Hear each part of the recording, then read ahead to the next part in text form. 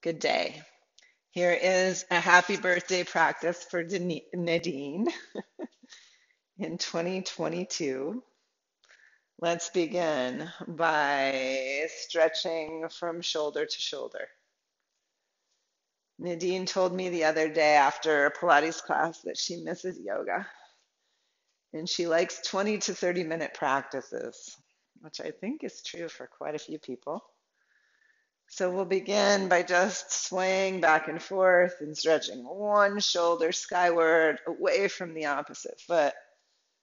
Just opening the myofascial network of the body. Let the elbows move. Nadine said she would like some shoulder opening, some twisting today in more of a yoga practice. But for me, stretching the myofascia first and maybe a little bit more qigong fluid motion feels really healthy in my body. So let's come up, arms in a T, inhale, the left palm up, the right thumb under and around, warming up the rotator cuff. Feel into the back arm how that side of the rib cage pulls away from the spine as we turn away from it really good to get the ribs moving away from the spine a little bit. And then come back to center and relax into your mountain pose. Stand into the whole circumference of your heels. And then find the circumference of your big toe ball mound and your pinky toe ball mound. Lift your toes, lift your arches. Let yourself rest into your back body. Let your tailbone reach straight down like the third leg of a stool. And let the lowest ribs lift away from the pelvis. Broad across your shoulder girdle, shoulder blades on the back body. Lift your gaze a little higher to a mountaintop in the distance. This doesn't shorten the low back. We keep the low back rib lifted. And we take a few fluid breaths. Now let's interlace the fingers behind the head. Lift the base of the skull with the thumbs. Wrap the elbows forward around the head and really resting into the third leg tailbone and the heels. Lift the elbows.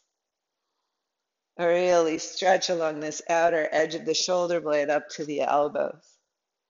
Rest the head back into the hands, traction the base of the skull, and relax the shoulders away from the base of the skull.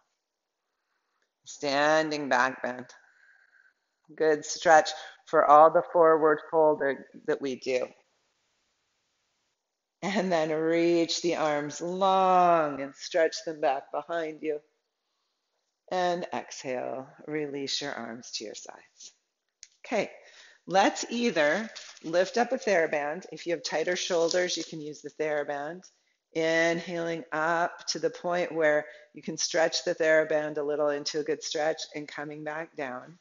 Or some of you may be able to stretch up and bring the arms back down. If your shoulders are tighter, it's nice to have a TheraBand because it can stretch. You can also let it slide through. If you want a little more control over how much stretch you have, use a yoga strap. Inhale up and hold wherever the stretch is good for you. And just breathe into it, resting the heels back. And then let the arms come back and down. And inhale back up. And exhale down. Fluid breath. Inhaling the lift. Exhaling the release. Inhale and exhaling. now inhale up with your right arm and bend the elbow. Let the right arm come behind your back. Float the left arm up. this is the most important part of this exercise. Rest the head of this arm bone back and then bring the arm around to the strap. If you don't do that, a lot of times I see this, which is really unhealthy for the rotator cuff. Rest the arm back before you come to the strap. Better to have the hands wider apart and those arm bones resting back than try so hard to lift the lower hand up that you really contort the shoulder and you feel pinching. So let it stay open and then reach up with the lifted elbow down towards the earth with the earthy elbow and let your ribs rest back. Let your head and neck rest back. Some of you might be more comfortable with your arms out a little bit. That's okay. You can even play out and in to open the shoulders. Some of you will be in and comfortable enough to circle the top elbow and draw a circle on the sky and circle it the other way. Wherever you are is okay, but we're not gripping with our toes. The four corners are planted. And then from here, if you'd like to, you can open the arms long and take them behind you in a kind of bow and arrow bow stretch, and then release. Take the other arm up, stretch it skyward, bend the elbow, float the arm up, draw it back at the head of the arm bone, and bring the hand around to the strap. The elbows come out to the side and upward, out and upward. Rest your head, your heart, your pelvis back. Fluid, three dimensional breath. Find the arm position that's best for you. And if you'd like to, draw circles on the sky, then do three one direction and then three the other. It's a good start.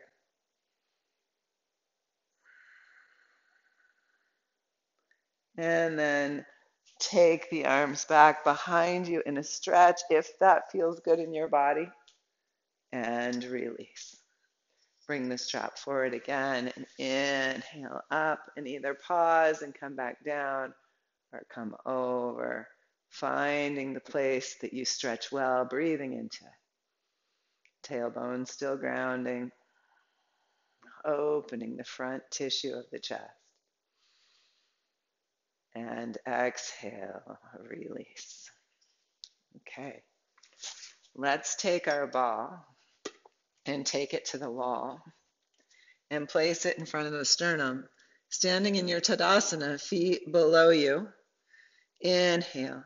Lift the ball up the wall without throwing the pelvis forward. Open across the shoulder girdle, shoulder blades on your back. Lift the heart, lift the low rib ring as you ground the tailbone, ground into the heels. So the back body is strong and long, shoulder girdle resting away from ears, long neck. And then exhale, release. Take the ball behind your back.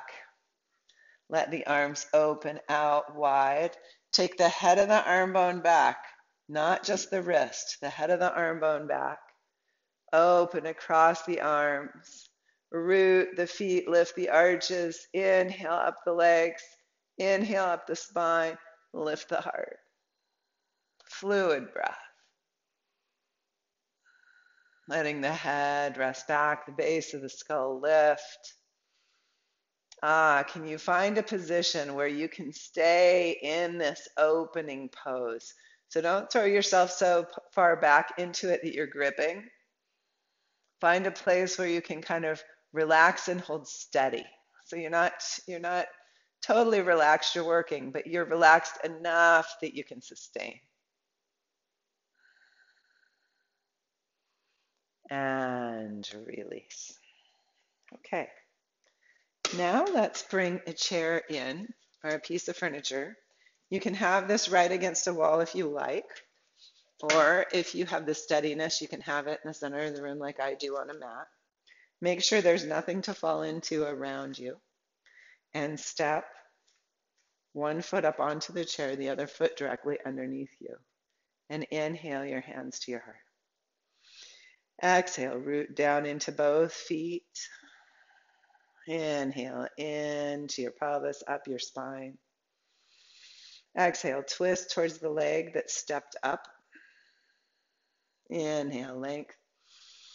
Exhale, twist. Perhaps you take a few breaths to get there. And then bring the outside of the front hand against the femur and the left arm open. If that doesn't feel good, you can just place the palm on. Broad across the shoulder girdle again, broad into the shoulders. Eyes, we can look out the far corners of the eyes.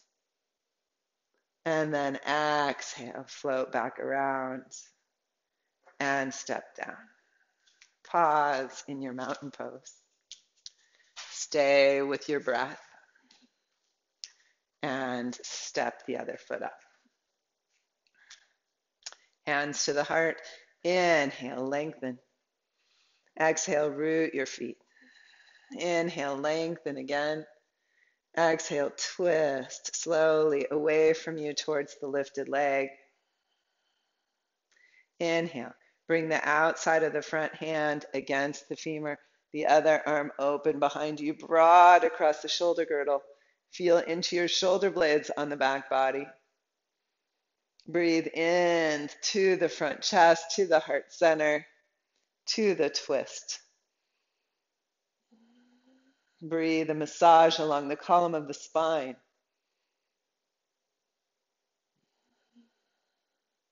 And then exhale and unwind.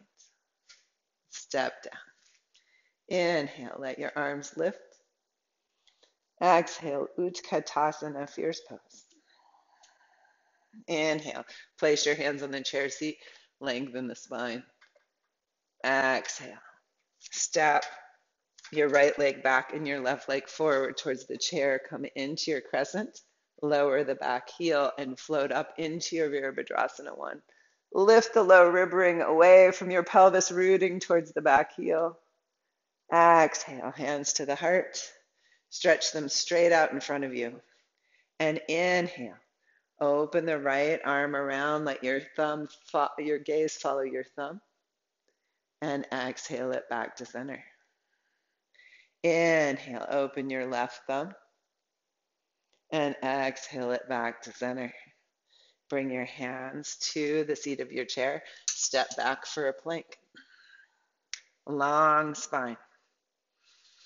Fluid breath. You could be doing this on blocks as well but I really like the chair sometimes for this because we keep long. And then step the right foot forward, lower the left heel, inhale, lift into your Virabhadrasana 1. Lift up through the pelvic floor. Exhale, hands to your heart. Inhale them out in front of you. Inhale, follow the left arm open. Exhale. Close palm to palm. Inhale, gaze on the right thumb, follow it open. Exhale, around palm to palm. Inhale, open. And exhale, closed. Inhale, open. And exhale, close. One more time. Inhale. And exhale. And inhale. And exhale and hands to the seat of your chair. Step back, plank.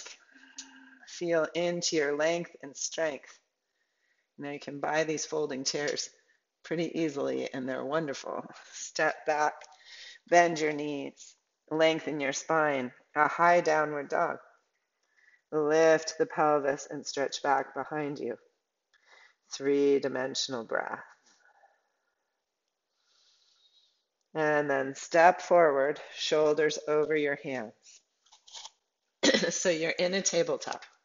And right here, go ahead and inhale your cow and exhale your cat. And following your own breath, take a few more cycles of inhaling cow and exhaling cat.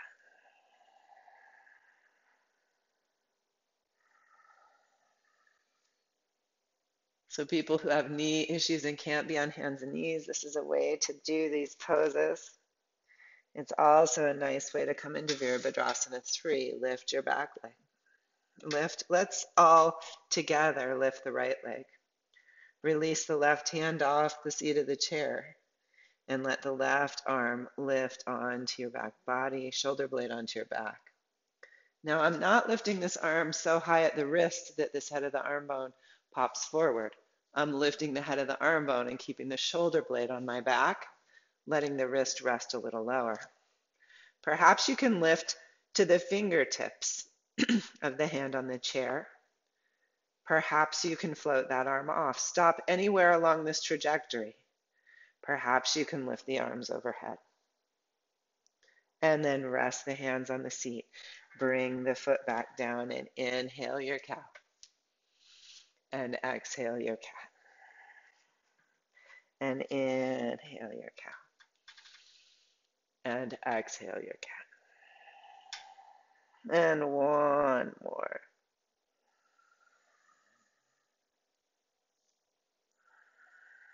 When you come into the cat this time, take a few more breaths, stretching the spine.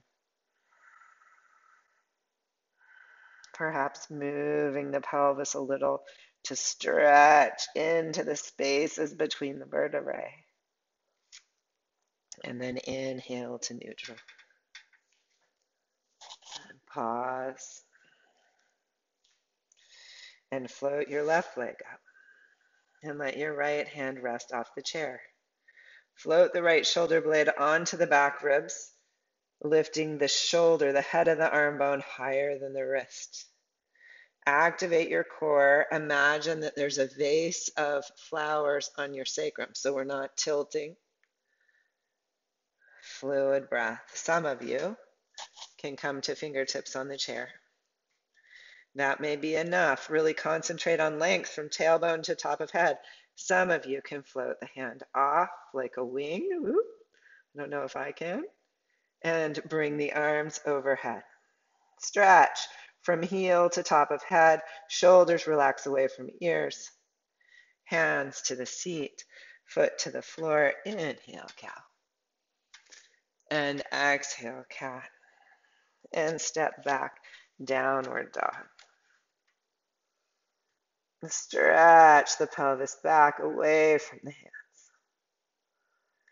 And step forward. Heels under sit bones. Second metatarsals parallel. Float into your Utkatasana fierce pose. Gentle twist to the right. Gentle twist to the left. Gentle twist to center. Release your arms and let them swing. Stay in your Utkatasana, strengthening your legs. And swing skyward. Interlace your fingers the funny way. Thumbs to the base of the skull, rest the head back. Tailbone rooting. Lift the gaze and the heart. Rest the shoulders away from the ears. Fluid three dimensional breath.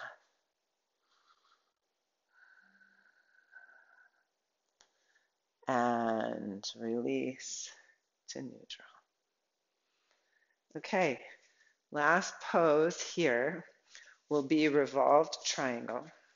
So turn your chair so that it faces forward on the left side of your mat, or bring your block in, or your stacked blocks. Remember, you can always put blocks like this to have them higher, okay? And then step your right foot forward and your left foot back. So the right foot is even with your blocks or this leg of the stool. And inhale, lengthen skyward. So we're facing forward down the mat. Our heels are at least as wide as our sit bones. And we exhale forward with our long Virabhadrasana three spine and bring our hand down to our prop. It's the left hand on the prop, the right wing open, shoulder blade onto the back body, wrist not as high as shoulder. From the pelvis, root into your feet and bring the wing open, stretching across. So you're twisting towards the front leg and you're drawing this front leg hip crease back away from your armpit. You're lengthening the neck away from the shoulder girdle. Shoulder girdle relaxes towards hips. And then we rest into our three dimensional breath.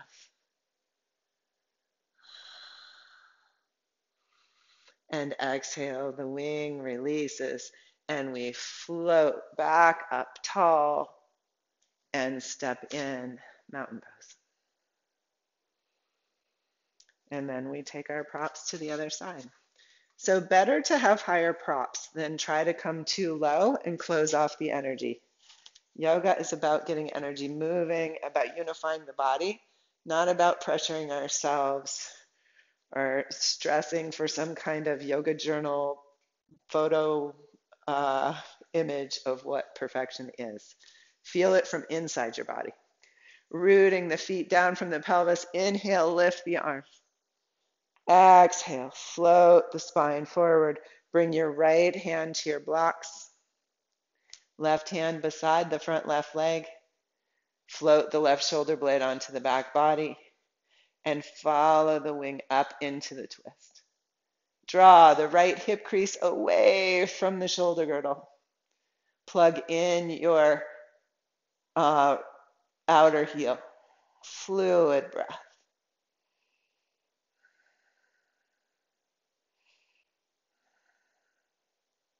I think I might have said right hip crease away. I want you to draw the front leg, the left hip crease, away from the shoulder girdle. So you're stretching this side body long. Now really stretch across your arms. Ground into the outer heel. And exhale, release your lifted wing, float skyward. Exhale, hands to the heart, feet beneath you, mountain pose. And come into a few fluid breaths.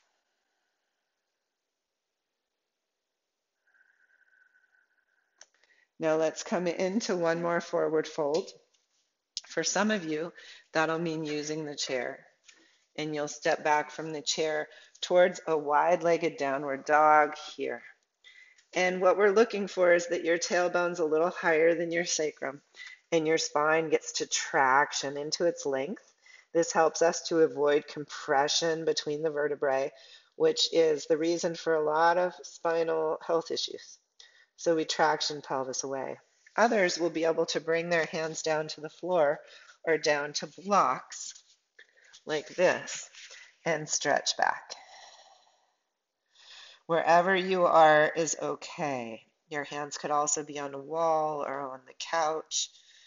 We stretch back through the pelvis. We rest the pelvis away from the arms. Now, if your shoulders aren't comfortable in that position, you could rest your forearms on the chair seat or on the blocks and still stretch the pelvis away from the shoulder girdle. Some of you will be able to fold into a full Prasarita Padottanasana, a full forward fold. And if it feels good to you here, you can let your spine and your body sway across, one knee bending and the other bending, letting yourself sway a little side to side, inviting the hips to open and the spine to release. Fluid breath. And then come back to center for another full three dimensional inhale. Relaxed exhale. Hands to your hips, knees slightly bent. Unhinge. Come back up to standing. And relax into your breath. Standing Shavasana. And then come on down to the floor. Bring in a bolster or a folded blanket. And have a chair accessible for you to put your legs up. Maybe you're putting them onto a couch. Bring your calves up onto the chair. And then lift up and bring the bolster in. Izzy always knows this is the part of the practice she gets to kind of relax into a little. Lay back on your back, pelvis lifted. Now, for small torsos, like Nadine, I'd recommend just a folded blanket under your pelvis. Pelvis a little higher than heart, a little higher than head. This is called the waterfall pose in modern day yoga. Let the blood and lymph flow from the feet back towards the pelvis. Blood flow from the heart into the thyroid and thalamus glands, into the pineal and pituitary easily because we've reversed the hug of gravity. Let yourself rest back into your three dimensional breath.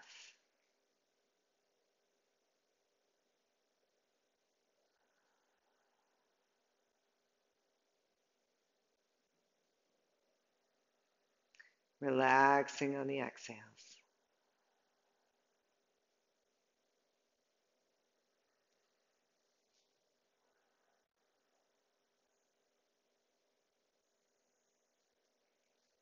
Relaxing your face and your jaw,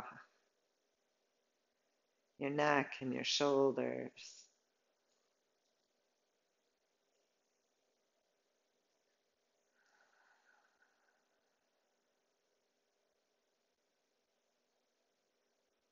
Relaxing your belly and your pelvis.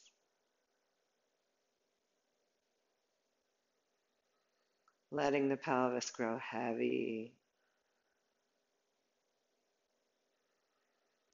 The front body rests onto the back body.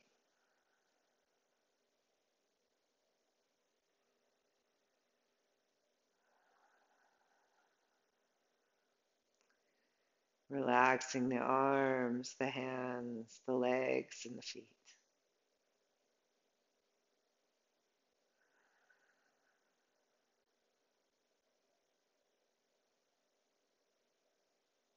See if even the mind can rest, awake and attentive, noticing, relaxing into noticing.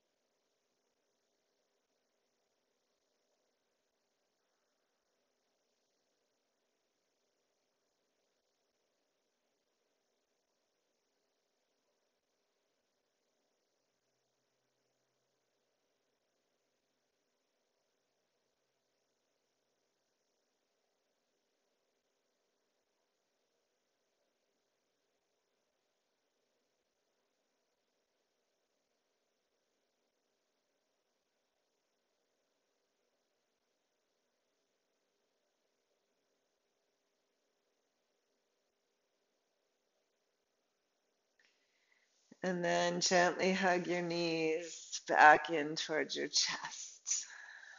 Place your feet on the chair. Lift up off your bolster or blanket. Rest your hips to the floor. And slowly roll yourself over and come up to a comfortable seat.